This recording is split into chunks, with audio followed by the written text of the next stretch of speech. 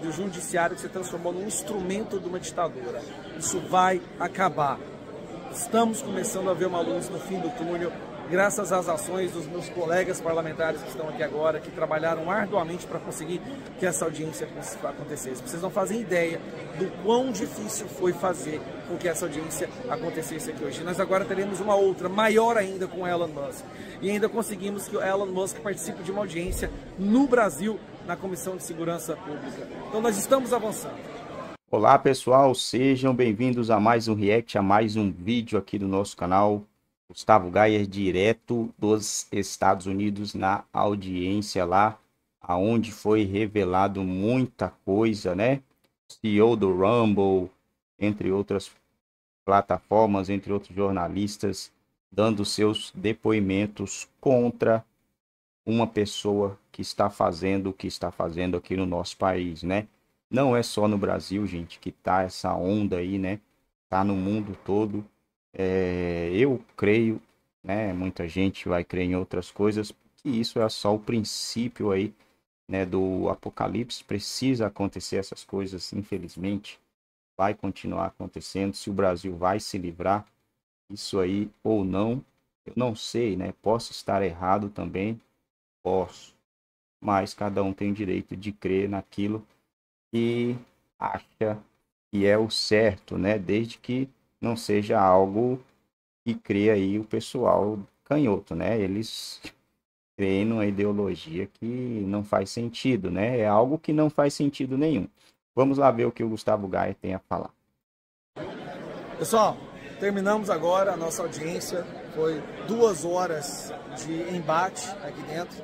Vieram republicanos, né, deputados do lado da direita, e vieram alguns democratas da esquerda comunista socialista de merda, foi maravilhoso. Eu acho que hoje foi um passo fundamental para reverter a nossa, a nossa democracia, o nosso país, tá? Está impossível de esconder o que está acontecendo no Brasil, está impossível de esconder, o mundo já sabe que o Brasil já não é mais uma democracia. As evidências comprovadas, mostradas, apresentadas hoje pelas três testemunhas que vieram falar, que é o dono do Rumble, o Michael Schellenberger e o Paulo Figueiredo, chocaram as pessoas aqui nessa audiência no Congresso americano. Olha, a imprensa americana, a brasileira, eu tenho certeza que está se contorcendo agora, mas o rei está nu e o império também está nu. Todos agora sabem o que o Alexandre de Moraes tem feito. A deputada Salazar chegou a falar que o Brasil é liderado por um criminoso e na justiça, no STF, tem um corrupto. Então, ou seja, já não dá mais para esconder, o mundo já sabe da verdade. Daqui nós vamos almoçar e logo depois nós vamos fazer uma coletiva de imprensa, mais uma vez reforçando o que foi dito aqui hoje, para a gente poder resgatar o nosso país. Olha, estamos conseguindo. Algo que nós começamos há cinco meses com essas visitas aqui fora, conversando com parlamentares, conversando com senadores americanos, conversando com, com a imprensa e com as think tanks, está trazendo os frutos que a gente tanto esperava. Vai haver uma outra audiência aqui em um mês e meio a dois meses, com a participação do Elon Musk. Será uma audiência apenas para que ele possa falar. Então, estamos conseguindo, nós estamos mostrando para o mundo o que realmente está acontecendo. Tem sido difícil, todas as vezes que a gente faz isso, a gente coloca um alvo enorme nas nossas costas. A gente sabe que a perseguição vai aumentar ainda mais, mas pelo menos eu tenho certeza que antes da gente morrer, eu vou ver esse Brasil liberado, vou ver o Brasil com a democracia plena e a liberdade de expressão sendo restituída. Então, nós tivemos aqui vários parlamentares nessa área, ali ficou só brasileiros que vieram para cá e a gente celebrou todas as vezes que a verdade foi dita, nós batemos palmas todas as vezes que a verdade foi restaurada. E esse é o tipo de ação que a gente tem que continuar fazendo. Não tem sido fácil fazer isso, vocês sabem, vocês acompanham, mas hoje foi um fator, uma virada de ponto, uma virada de chave. É, o Congresso americano, a imprensa americana agora já sabe o que está acontecendo. Não importa o que a imprensa brasileira vai estar tá se remoendo hoje, mas com certeza a gente está resgatando um pouco da verdade. A gente está trazendo à luz novamente a verdade. O esquema de desinformação está mais enfraquecido.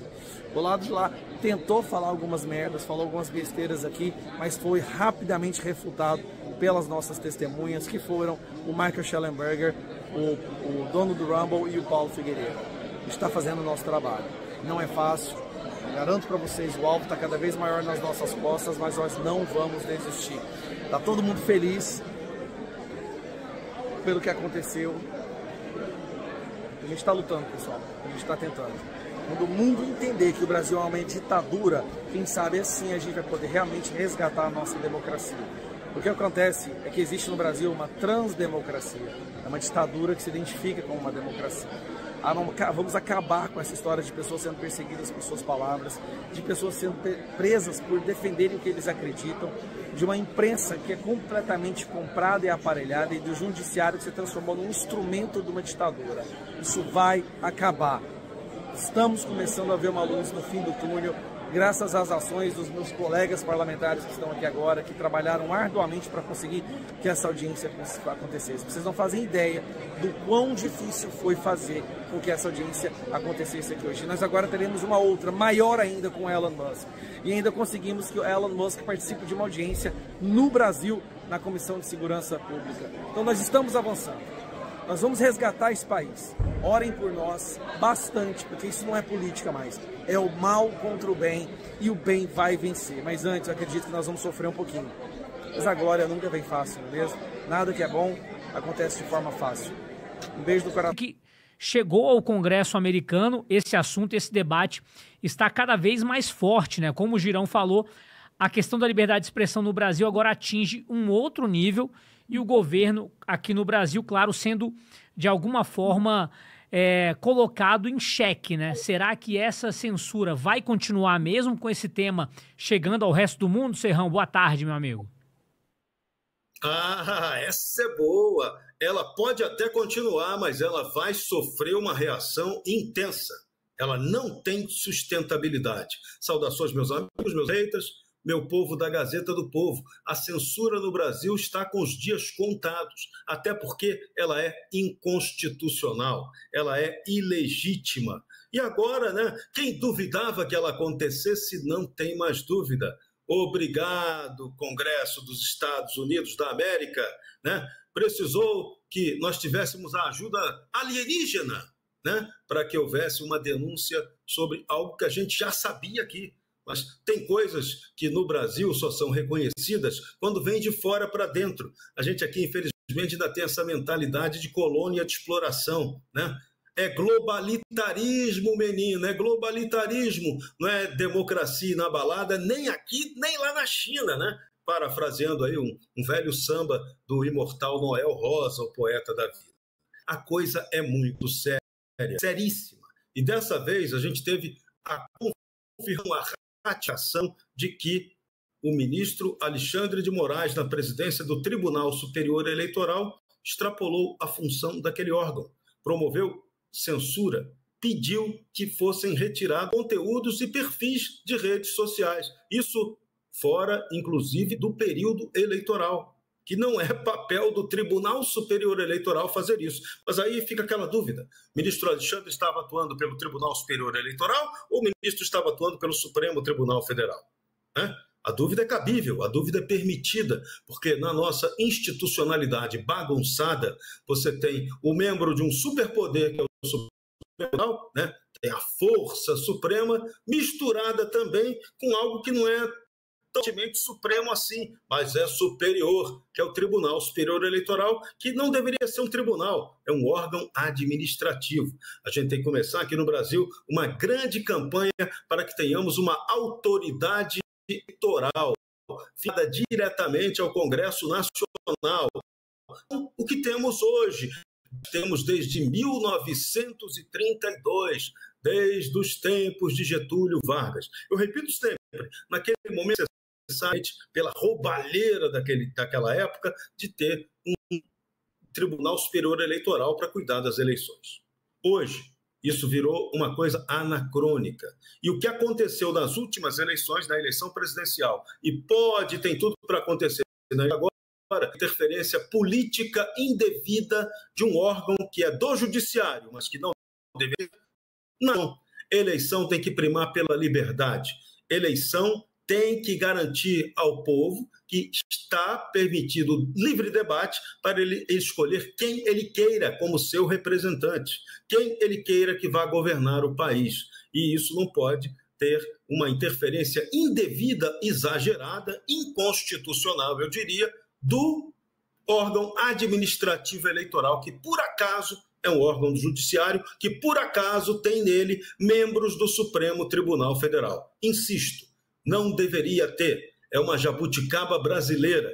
E é bom quando os erros a gente pode apontar o erro e dizer: olha, é hora de corrigir. Então, o brasileiro está vendo que é hora de corrigir. E graças a Deus, houve a denúncia de fora para dentro, com a colaboração de jornalistas também do Brasil, como Eli Vieira, da Gazeta do Povo. Então, nós temos agora um fato concreto, não é mais disse-me-disse o Comitê Judiciário do Congresso dos Estados Unidos da América, mesmo hoje numa audiência bagunçada pelos democratas, que estão no papel deles, né, atuaram para mostrar que no Brasil tem algo errado, um desrespeito, uma violação dos direitos de cidadãos brasileiros e também de empresas norte-americanas, que o Congresso americano está entrando nessa história por quê? Porque a denúncia vem de uma empresa americana e a empresa americana está sendo afetada em seus negócios, o que contraria o que? A primeira emenda americana que garante a total liberdade de expressão ao povo dos Estados Unidos da América. Então, o americano não aceita que isso seja é, motivo de avacalhação institucional do seu povo. O brasileiro, infelizmente, Tupiniquim, ainda aceita, mas não tolera, não está a fim de permitir que isso aconteça por mais tempo. Então, essa é a excelente notícia. Então, quando a denúncia vem de fora para dentro, ela tem o um efeito tsunâmico. Né? A maré vai baixando, você não entende por quê. Daqui a pouco vem uma onda de 13 mil metros de altura e blum, bate, limpa, faz a, faz a varredura e esse Twitter Files ele tem esse efeito tsunâmico de mexer com um sistema de poder no Brasil que está abusando da autoridade, que está desrespeitando os direitos civis. Pior de tudo, está avacalhando a nossa Constituição. Por isso que a gente todo dia diz: pare em nome da Constituição. É o meme mais, é o meu meme preferido, criado pelo Supremo Tribunal Federal. O mesmo Supremo Tribunal Federal pelo qual eu tenho imenso apreço porque ele nos garantiu, através de decisões relevantes, importantes, que não podem ser ignoradas por ninguém, nem por ministro do Supremo, que a liberdade de expressão vale no Brasil. É uma cláusula pétrea. A censura, a Constituição brasileira não aceita a censura. E a censura não pode acontecer na eleição, por mais bem intencionada que possa ser essa atitude vinda de magistrados. Né? A iluminação da juristocracia não é suficiente para ofuscar o regime real de liberdade de expressão numa campanha eleitoral. Então, esse ponto tem que ser revisto. Então, nosso Congresso brasileiro tem que olhar o excelente exemplo dado pelo Congresso americano, que chamou a atenção para esse fato, e tomar vergonha na cara. Né? Nós, presidentes do Congresso Nacional Brasileiro, da Câmara dos Deputados, parlamentares de situação e de oposição, essa não é mais uma questão é, de politicagem, não é mais uma questão ideológica. A questão da liberdade é basilar, é constitucional. Você da Constituição, você é da barbárie, você é do crime. É isso, não tem outra interpretação possível. Então, ou nós somos pela Constituição, ou nós somos pela esculhambação. Nós somos aqui no Sem Rodeios pela Constituição. Então, o Congresso brasileiro também tem que seguir o mesmo exemplo, porque o povo brasileiro, em sua maioria, está de saco cheio disso que está acontecendo. É hora da mudança, já passou da hora da mudança. Precisamos de eleições livres para poder escolher melhor os nossos representantes que, vamos falar sério, sempre deixam muito a desejar. Mas por quê? Falta liberdade na eleição, eles que se apresentam para tomar o poder têm sempre uma parceria criminosa junto com eles. Então, o povo não quer isso, o povo quer mudança. Vamos mudar. Obrigado, alienígenas. É isso aí, Serrão. O pessoal comentando aqui no chat, eu te convido também a deixar o seu like, o seu comentário para fortalecer aqui o nosso Sem Rodeios, como fez a Cassiana Gomes, que disse: Acho que só o fato dos democratas tirarem o foco da audiência já mostra que estão perdendo ele queria saber de você exatamente esse ponto. Né? claro, quem é contra o assunto vai tentar de alguma forma é, deturpar toda a situação que está sendo discutida. Agora, você publicou uma matéria no dia de ontem aqui na Gazeta do Povo. Casa Branca coagiu Big Techs a censurar americanos. Você acredita que isso de alguma forma tem impactado nessa audiência de hoje? E mais, você vê algo muito próximo do que tem acontecido no Brasil com TSE querendo fazer uma revolução aí padrão Moraes nas redes sociais? Você acha que o que fez a Casa Branca é parecido com o que tem feito também o judiciário brasileiro em relação à censura ali? Ótima pergunta, Guilherme. Quando o Schellenberger me abordou sobre a questão brasileira, nós dois começamos a colaborar um pouco antes do David Agape e eu coloquei David Agape em contato com o Schellenberger. E eu e o David Agape tínhamos trabalhado juntos também. E o Schellenberger é, queria saber né, quais são as semelhanças e diferenças nesse movimento pela censura no Brasil. E, e o motivo de eu ter entrado com, em contato com o Schellenberger foi que eu mandei um e-mail para ele, mostrei publicamente esse e-mail. É, no dia seguinte ao dia em que foi travada a votação de emergência do PL das fake news. Eu, pessoalmente, estava preocupado, eu li o projeto, no meu emprego anterior, eu era um coordenador de escolas e lá tinha um dispositivo é, vetando a disparo em massa de mensagens. Um, um, um termo muito familiar para quem acompanhou né, as acusações contra as supostas ações ilegais do, da campanha do Bolsonaro em 2018. Então, é, é, esse projeto de lei parecia assim, feito sob medida para conter um, uma nova eleição do Bolsonaro, essa é a minha opinião. E ali tinha esse dispositivo barrando mensagens em massa. O que, que era em massa? Mais de cinco pessoas. Aí eu falei, então eu, no meu emprego anterior, seria enquadrado nessa lei. Eu, eu, fazia disparo em massa de mensagens porque eu tinha cada turma uma, um, um grupo no WhatsApp, então eu tinha que disparar em massa para eles um comunicado da escola, esse tipo de coisa. Então realmente era um projeto de lei muito draconiano. É, é, indico aí que vejam a opinião, os ouvintes vejam a opinião do André Marcilha, um, um grande jurista de liberdade de expressão no Brasil, que ele, é, é, ele, ele fala melhor que eu quais eram os problemas desse projeto de lei. Então, foi assim que eu me aproximei, aproximei do Schellenberger, estava preocupado com isso. E aí ele me perguntou, tá, nos Estados Unidos, os Twitter Files uh, dos Estados Unidos mostraram que havia um conluio de, é, da inteligência, núcleos da inteligência americana, tá, é, para dar um exemplo bem concreto, é, do conluio do governo com as big tech para censurar opiniões que, especialmente nos Estados Unidos, são livres para serem expressadas. Havia um sistema de tickets, de, isso Twitter Files mostraram, é, os Twitter Files anteriores ao do Brasil. É, e havia agentes do FBI, via algum tweet sobre as vacinas ou sobre. Eu também fui censurada, Karina. Bom, pessoal, o start foi dado, né? Agora é, é esperar a consequência de tudo isso, né? A bola foi lançada contra a parede. Vamos ver qual vai ser a reação, com qual força essa bola vai voltar, né? Ação, reação. Deu start, deu início a uma nova corrida, a uma tentativa de uma mudança, né? Agora a gente vai ver o que acontecer nos próximos dias, nos próximos capítulos. Ainda tem o depoimento aí, como a gente viu, do Elon Musk, né? Que ainda vai é, levar ao seu depoimento. Vai azedar o pudim, será? Vai dar ruim para pessoas aqui no Brasil? A tendência era essa, né? É ser essa. Mas para que isso aconteça, eu acho que realmente precisaria aí de uma mudança lá onde aconteceu essa reunião também, né? Provavelmente a gente vai ter aí é um novo comandante no, nos Estados Unidos, né? Acho que o, o Trump tem condição de ganhar e ele ganhando ele vai se interessar também por esse assunto, vai se interessar também pelo poderoso chefão, vai querer dialogar com o poderoso chefão para ver que história é essa, né? Que papo é esse?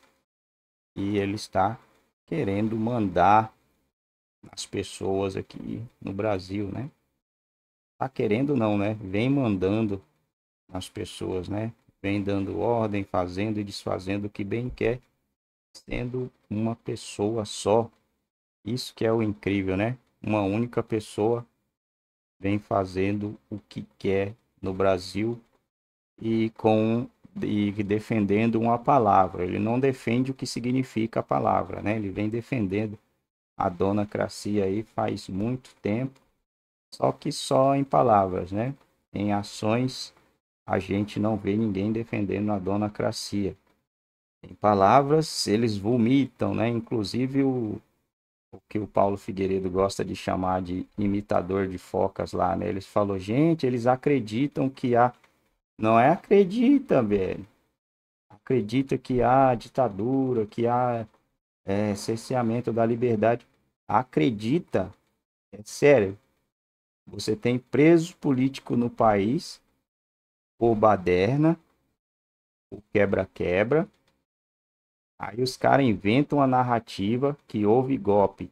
Se houvesse esse golpe que eles falam, eles não estariam falando que houve isso.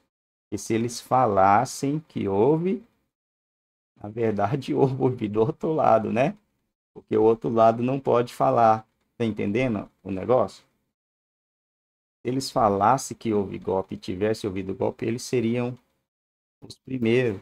E aí quem fala que quem deu golpe foi o outro lado, o que está acontecendo? Então quem ousa falar que o golpe foi dado do outro lado, acaba indo para o xadrez. Então, imitador de foca. Dá uma olhada aí, rever direito, né? Reveja seus conceitos aí, porque o que você está falando aí não condiz com a realidade, né? É a realidade é bem diferente do que você está falando, é bem, bem reviravolta, é o lado avesso da história, né? Olha, olha que lindo isso aqui, ó. Ministro Gilmar Mendes decide suspender ações criminais contra Eduardo Paes. É para isso aí, né? É para isso que a gente paga imposto.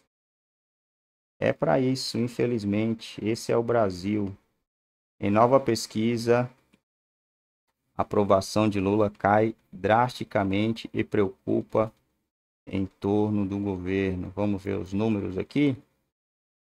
Vamos ver se realmente pesquisa da Confederação Nacional de Transporte. Deixa eu fechar isso aqui, porque pode dar ruim, né? Nacional de Transporte divulga nesta segunda-feira, 7, mostrou que 37% dos entrevistados avaliam o governo do presidente da República Luiz Inácio Lula da Silva como ótimo ou bom, enquanto 30% consideram ruim ou péssimo. Cara, ainda é uma maioria, né? O ruim ou péssimo ainda é a minoria.